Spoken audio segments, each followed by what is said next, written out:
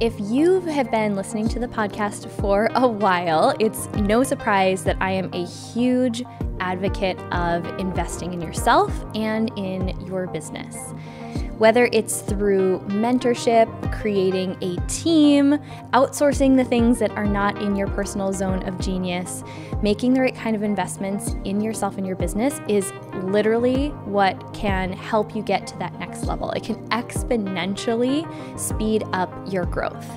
But today I'm going to share the biggest mistake that I've made in the past when it comes to investing in myself and how I now approach the decision to invest.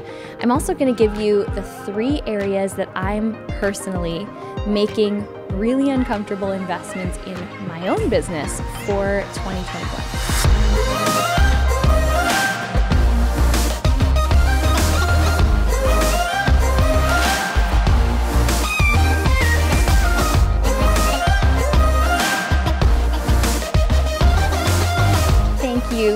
Much for tuning in today. I I say it all the time, but it really is not lost on me that it is amazing. People listen to this show from all over the world. I get the most beautiful messages from all of you and it it's like the craziest thing to know that this podcast that started as a little idea a few years ago now has grown to hundreds of thousands of downloads. I mean, you can see like this crazy map of all over the world where it's downloaded and I still like can't get over it. It's like a pinch me kind of moment. So I love hearing from you. I love knowing what's resonating with you in the episodes. And if you didn't know, there's like a real human behind behind this show and it just means the world when you write reviews or you share it on social media. So I didn't want to let today's episode get into it fully without acknowledging just really the difference that you all make in the success of this show and just how much it touches my heart when you share what you love and share this with your friends. So, thank you for doing that. Continue to do that. That's like the best gift you can give to any podcast host is that feedback. Um, today, we are talking about one of my absolute favorite topics, and this was kind of inspired by a post I shared on Instagram um, just this week. Uh, it was a few weeks ago now when you're hearing this episode, but about a big mistake that I made early on in my business journey when it came to investing in myself. And now in my business, what I do in December is I start to look ahead at some of the bigger business invest- investments that I want to make for the next year.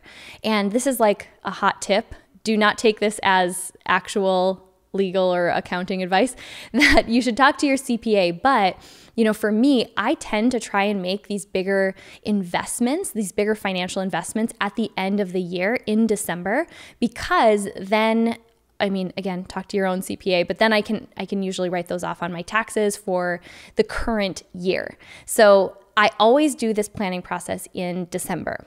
So whether it's looking ahead and choosing which mentor I want to work with next, or the mastermind that I want to join. Or right now, we're looking at doing some di- different things with digital marketing and hiring an ads team. Um, it could even just be investing in technology, uh, things that you need in order to make your business more efficient. I usually budget my next year's investments and then I even, you know, pay the money involved for those investments if possible in the month of December for that reason. And I'll be totally transparent with you. When I look at investing in myself and my business now, I'm going to tell you the mistake I made in a moment.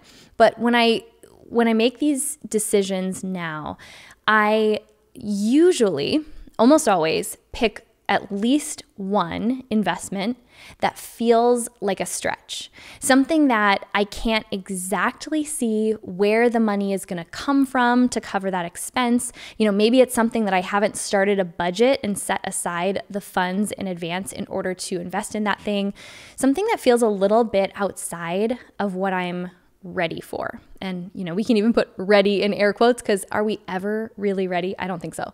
But I always pick at least one area to invest in myself and in my business that does feel like a stretch. And I think this is going to perfectly tie in with what I wanted to share with you on this episode and go a little bit deeper into this conversation I started over on Instagram a few weeks ago. That the biggest mistake I used to make when looking at these investments, making an investment in my, my own personal growth, maybe in something for my business, is I would look at it and check in to see if the person that I am today was comfortable with, was ready for, or had the, the financial resources in order to make that investment. I would literally invest based on the person who I am today versus what I've now changed my mindset to. So, this is the biggest advice that I give to people when they're looking at what's next for them and their business. You know, what is going to have them reach their goals, the ones that would totally blow their mind at the end of next year. And that is this simple mindset. I now invest in the person I want to be a year from now. I invest in the business I want to be a year from now. And I'm going to break that down and exactly what that means to me and I'm really hoping that you start to hear something for yourself in this because I think, and I see this a lot within our community, within the women in our programs, that there's just this there's this magic that happens. And it's almost hard to put into words because it's unless you've experienced it for yourself, it sounds like almost something you would kind of like you know, shake your head at like, I don't know, could that be true? I, you know, that sounds a little bit far fetched. But something happens when you step into this intention for your future, what you are envisioning for yourself and for your business, and you operate as that person now. So let's take for business, for example. So when I'm looking at what the next like growth experience for myself and my business, like a mastermind, hiring a mentor, I think about, okay, how how much do I want my business to grow in this next year? And then I'll usually stretch that even a little bit further. So let's say I want to you know, grow my business by 25%. I'm just literally picking random numbers out of thin air. I will I will then go, okay, but if I put myself in, a, in the right position to get the right strategy, to have high level accountability, and to work with someone who's been where I want to go, could I actually grow my business 50%, 100%? Could I actually grow it far beyond what I today, as the person I am right now, see as possible? If I had another perspective on my business. And so I step into, well, what do I want to be celebrating one year from today? And what's going to help me get there faster? So I literally make this investing decision based on who do I want to be? How much do I want to earn in my business a year from now? So, when we start to do this, when we start to literally think of the person you want to become, the business you want to have a year from now, it forces you to start thinking differently. It forces you to start being more resourceful and asking yourself better questions. So, I know for me, I actually start to like tap in to the energy and like what it feels like to be that future self version. And I know that sounds kind of woo woo. Again, this is this is one of those things, if you haven't experienced it, it probably just sounds like crazy talk, but it it's actually possible to start to experience and feel the energy that you want to step into and and you can start to see the pathway in making some of these bigger investments that are going to help you get there. So yes, like my palms sweat a little bit. I kind of feel nauseous. I always joke about that, but sometimes I really feel like I'm going to puke, like because I'm stepping so far in to something, a situation that's going to make me grow. It almost always feels uncomfortable. And that is your best sign that you're starting to step into that next version of yourself, the, the version of yourself that's actually going to make that business result or that big idea of yours come to life. So when I start to tap into that energy, I think it naturally starts to have me ask better questions. So, oftentimes, when it comes to making these bigger business investments, the natural question our mind wants to ask is well, can I afford that? Is that within my budget right now? Now, where that's not a bad question. Um, I'm not an advocate of going into massive debt in order to make business investments. I'm not a, an advocate of making financially irresponsible decisions or creating an unhealthy kind of pressure where you've overextended yourself and you don't yet have the confidence, the belief that you can make up for that amount and more. So I want to preface it by saying I'm not an advocate of, you know, using debt inappropriately or in a way that you don't have a plan in order to turn it into something more. But when I start asking different questions, so beyond the question initially that my mind wants to ask of, can I afford that? I start to ask things like, how? How am I going to financially make that happen? Where you can hear it. The first question, can I afford that, is a yes or no question. Yes or no questions cut off all possibility. They don't force your mind to think creatively. They don't force your mind to, to be resourceful. It's just a yes or a no. And typically, it's your comfort zone that's answering that question for you. And it's more comfortable to say, no, I don't know. That's, that's kind of scary. It feels like a stretch. And we're answering that based on the person we are today. As opposed to if you were to step into this person you want to grow into a year from now, six months from now, and you stand from that place and you say, okay, how? How can I get creative? How can I financially make this happen? You start to think of, ask how questions. Think of ways that you can get creative, that you can leverage other other skills, talents, abilities that you have and actually come up with the revenue necessary, with the cash necessary in order to make some of those investments, right?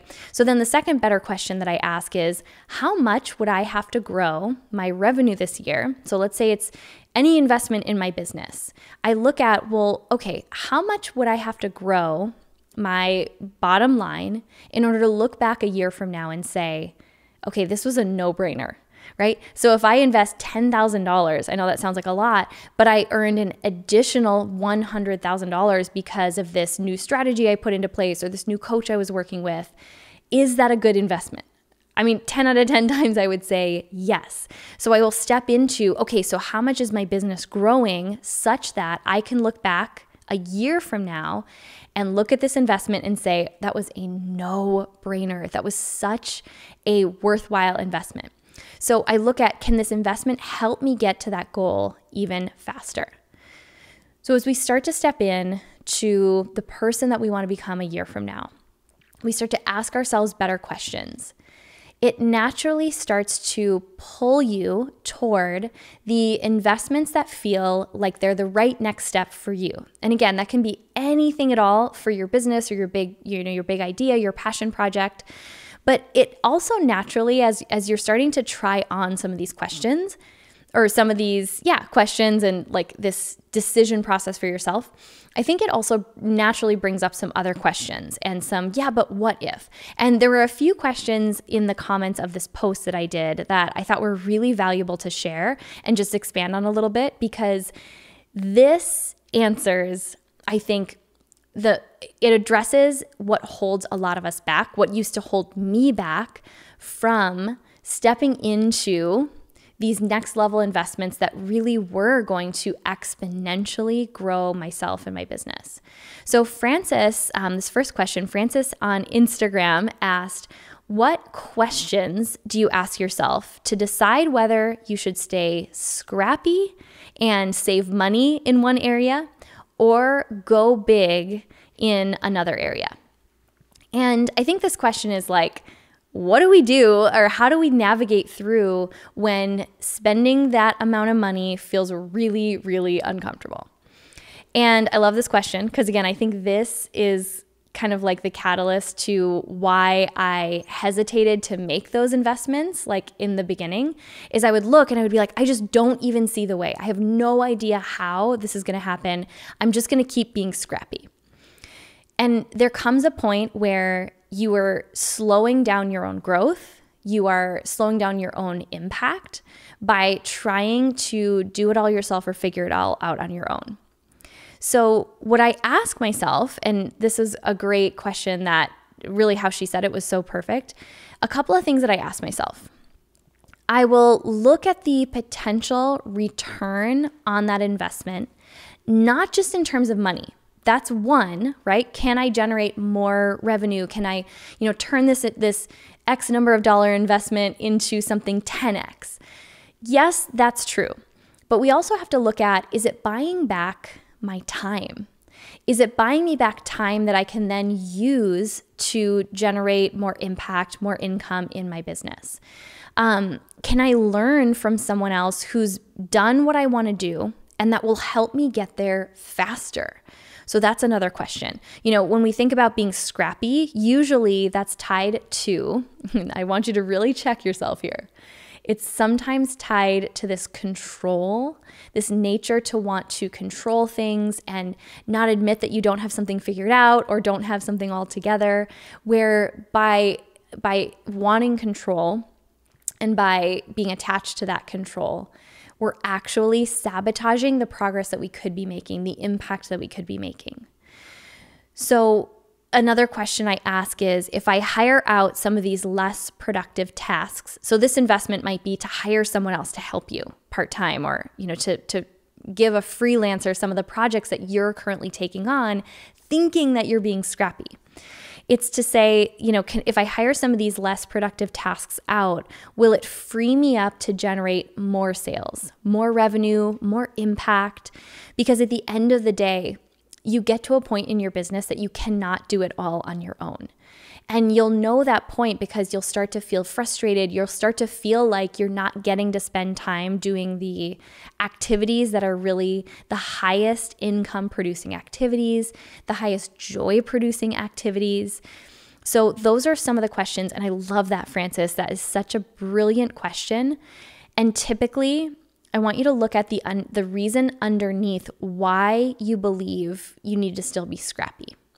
And if the return on investment will allow you more time or energy in order to produce more income in your business, I think it's always 10 out of 10 times one of those areas that I'll say, okay, I, again, I may not have the financial resources right now in front of me, but how? How am I going to make this happen?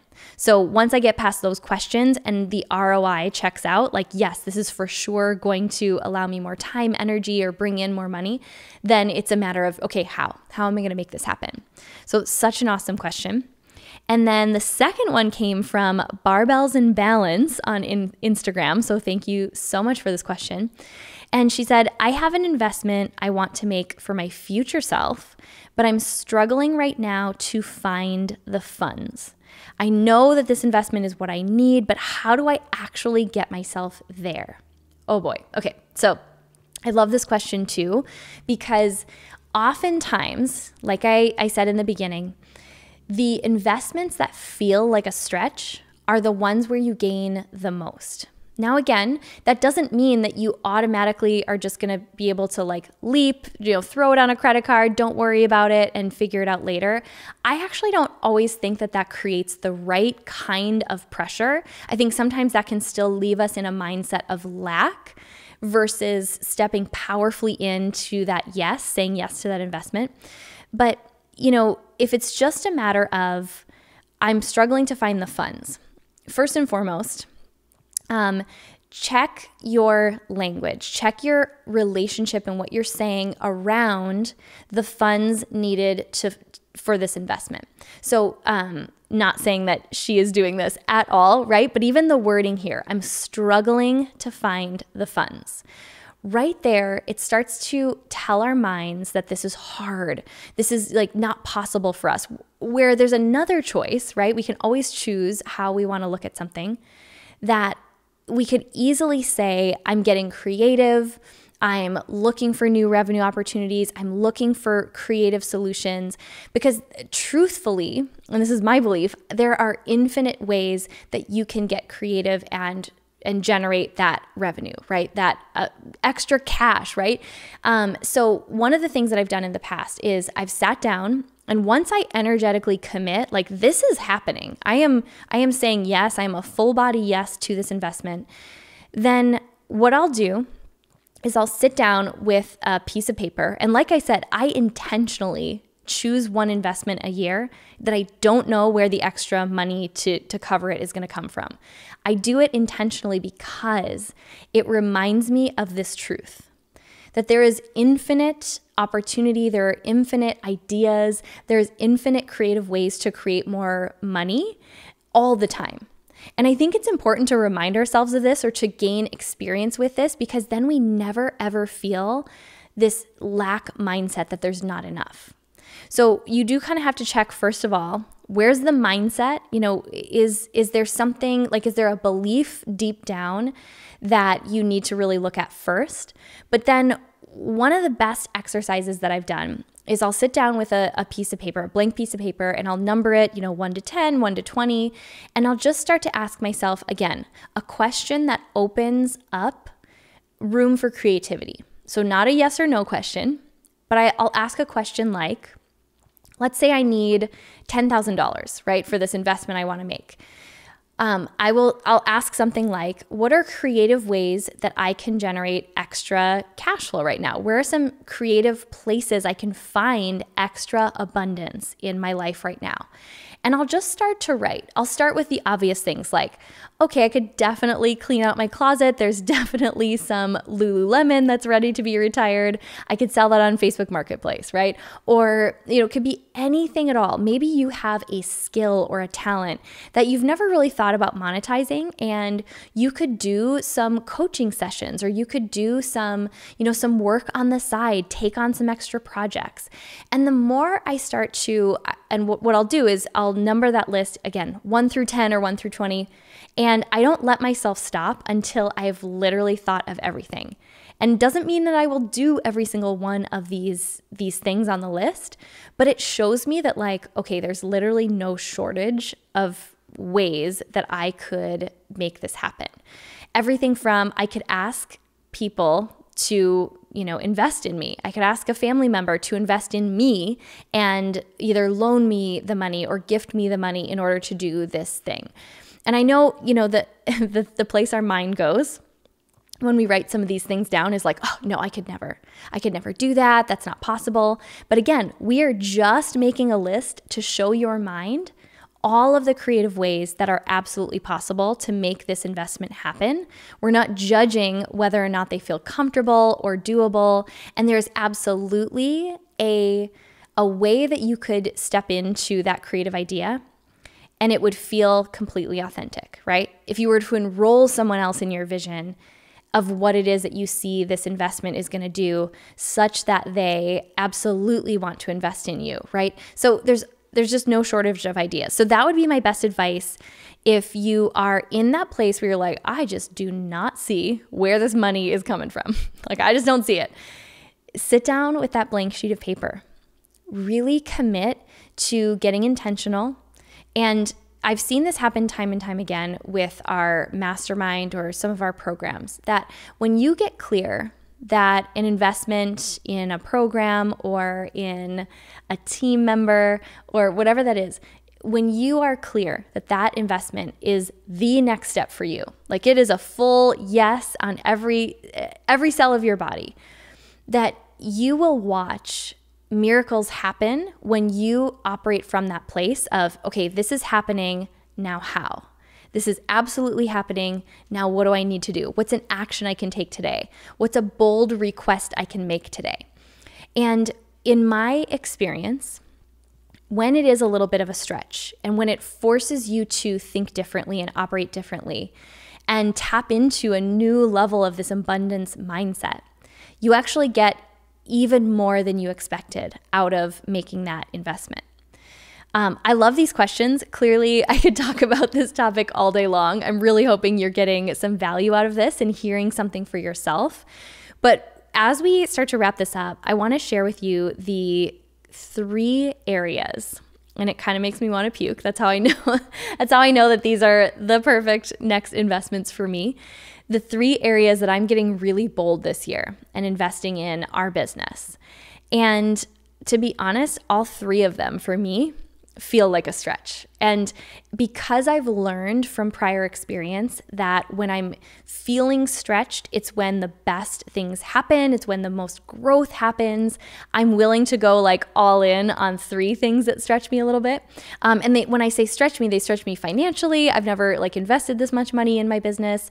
They also stretch me because I'll have to become a different version of myself. Like I'll really have to step into this next level version of me in order to become this person that I know I want to be at the end of 2021. Um, but I would love to keep taking your questions on this. So um, at the end, you know, I'll give you a couple different ways to connect with us, and would love to hear your questions. So I can, I'm so willing and happy to support and share anything I've learned in order to really encourage you. So the three areas that I am investing for 2021 is number one into our content marketing. So, this is, of course, our podcast, more video content, just showing up and adding more value.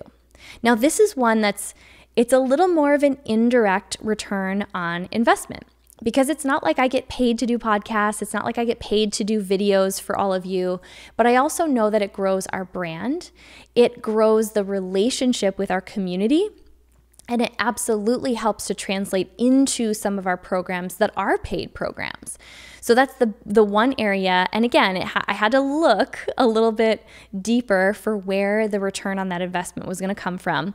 But rather than you know us just imagining that I'll have all this time to be creative and, and do this content myself, I am doubling down. I'm hiring more help in order to make sure that we're producing consistent value for all of you. So that's area number one.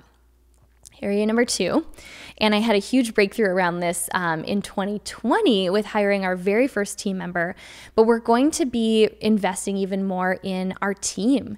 Um, I'm going to be investing in delegating things that are outside of my zone of genius.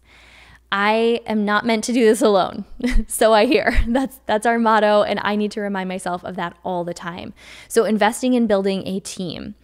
The third place, and this is my favorite, I always pick at least one mentorship or personal growth um, investment every single year. So for the past two years, I've been in a mastermind with about you know fi- anywhere from 15 to 40 other entrepreneurs. And for this next year, we're actually investing. My husband and I are actually investing in a couples mastermind and it's one that's it's part business growth but it's also part marriage and relationship growth. It's almost marriage first and then business like that stuff will come along with it because these are all other entrepreneurial couples. But i'm really excited for that. And and again it feels like a stretch because I, I can't immediately say, oh, there's going to be this huge ROI in my business. But I also know that, you know, I have to nurture the most important relationship in my life and uh, so this is the way that we're doing this. And then I, I also am um, doing a personal growth investment mentorship just for me as well. So I'm kind of like hitting it on both sides. But I, I spent the last two years really heavily investing in strategy. And now I'm really feeling that I'm ready for more of like a personal, like soul coaching kind of experience. So I'm excited to share more about that with you guys. Um, I'm always an open book and willing to share where I'm getting uncomfortable and growing myself.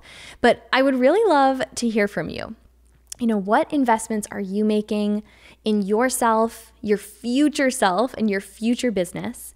And, you know, look at where is that investment giving you a return on your time, your energy, you know, bringing in more abundance or more happiness into your life? Um, and if you're looking for, I'll, I'll mention this depending on when this um, when you hear this episode, there may or may not be spots left, but we are filling the last couple of spots for our Powerhouse Women 2021 Mastermind. So, this is where we literally create this exact container and experience like I've been talking about where we we give you not only the strategy, the accountability, we support you as a community to step into that highest version of you. But then we also stretch you to think far bigger than you're currently thinking for your own business. So if you know that you're looking for an environment like that with other like minded, powerful women, all you need to do is text the word mastermind to the number that's in the show notes. I'll give it to you here too. And then we'll send you the link with all the details. So the number is 602 536 7829. And if you just text me the word mastermind, then I will know that you want the details and we'll send you the link. So, whatever it is for you, I really encourage you with the last couple of days of 2020, sit down and really think about what's it going to take for you to be twice as happy, to be twice as abundant, to become this highest version of you in the next year. And just know that these investments that help us get there almost always feel uncomfortable, but they're kind of supposed to because that's how we grow. So until next time, just remember it totally ties in with what we say all the time that you are just not meant to do business or life alone.